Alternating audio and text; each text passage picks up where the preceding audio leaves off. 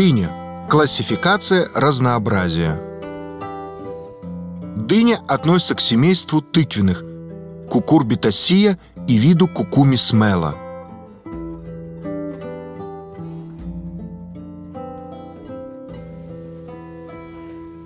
Это однолетнее растение, которое подразделяется на множество видов, различных форм, цветов и вкусов. Например, есть сетчатая дыня, дыня канталупа, дыня для консервации, зимняя дыня, которую можно хранить несколько месяцев.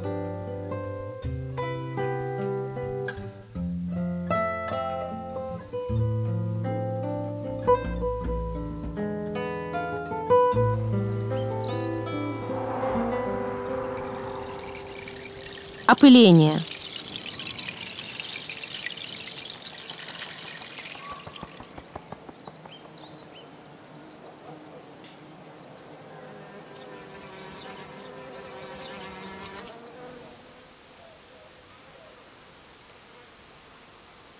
Дыня – однодомное растение, то есть на одном и том же растении есть мужские и женские цветки. Женские цветы имеют зависть под цветком. Это на самом деле миниатюрная дыня, которая будет развиваться. Мужские цветки расположены в конце длинных стеблей –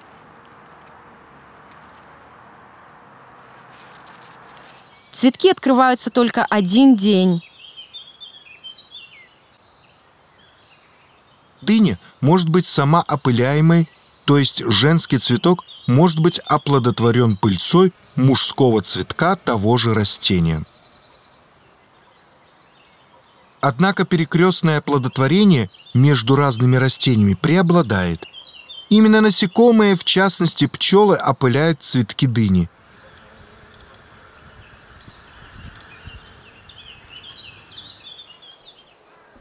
Все сорта вида кукумис мело скрещиваются друг с другом, включая дикие сорта.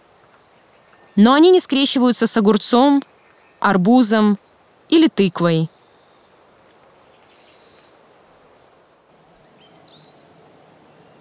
Чтобы избежать скрещивания, два сорта дыни должны быть разделены дистанцией в один километр между ними. Это расстояние может быть уменьшено до 400 метров – при наличии между двумя сортами такого натурального барьера, как живая изгородь. Существует несколько способов получения семян разных сортов дынь, выращиваемых рядом в саду. Первый метод состоит в том, чтобы полностью укрыть сорт под противомоскитной сеткой и установить под ней улей с пчелами.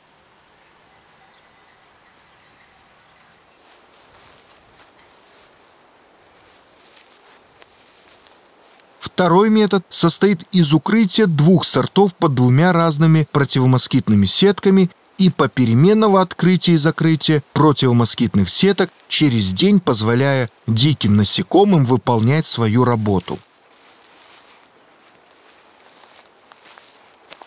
Урожайность будет меньше, потому что некоторые цветки не будут опылены. Третий способ – вручную опылять цветки. Процесс немного сложнее, чем для тыквы и кабачков, потому что цветки дыни намного меньше, и может быть трудно определить момент цветения. Но как бы там ни было, 80% женских цветков недоразвиваются. Ручное опыление даже менее эффективно, чем опыление насекомыми – поскольку только 10-15% ручного опыления будут плодоносными.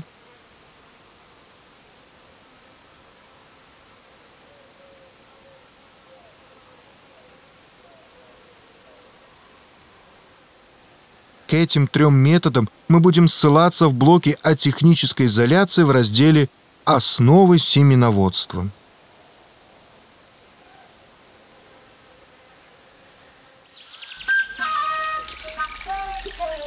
Жизненный цикл дыни.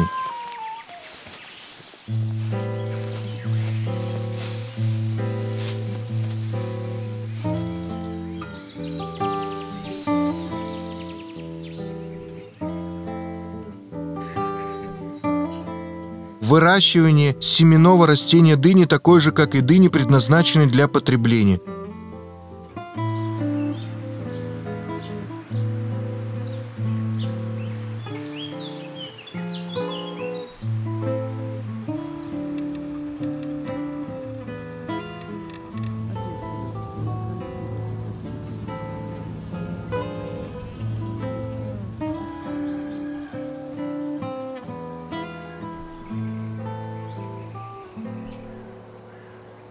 В зависимости от сорта дыням нужны разные температуры. Для лучшего генетического разнообразия рекомендуется выращивать не менее шести семенных растений. Идеально было бы вырастить хотя бы дюжину растений.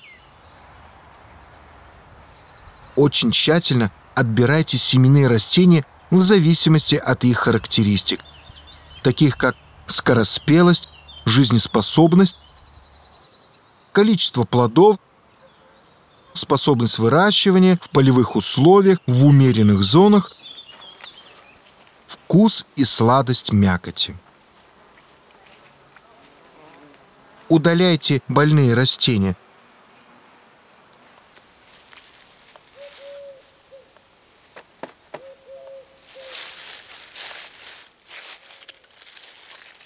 Степень зрелости семян дыни легко определить. Достаточно, чтобы плод созрел и был готов к употреблению.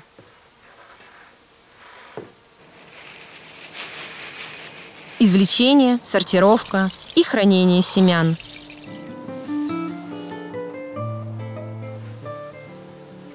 Чтобы собрать семена, разрежьте дыню пополам. Выньте семена ложкой. Наслаждайтесь потреблением остатка дыни.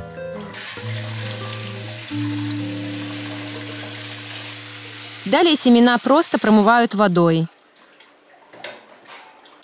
а затем сушат в тени.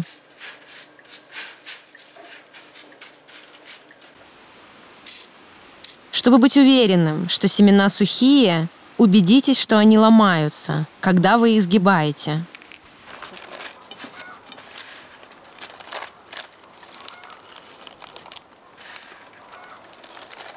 Voilà всегда нужно помещать в пакет этикетку с названием сорта, вида и года производства, потому что иногда надпись на пакете может стереться.